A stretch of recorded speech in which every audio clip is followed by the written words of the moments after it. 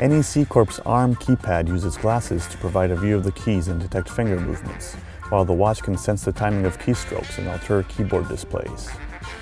The device would allow maintenance workers, for example, to input data without carrying a physical keyboard. It could also help others who need both hands for the work, the company says. NEC aims to roll out the device in 2016. The price of the product has yet to be set.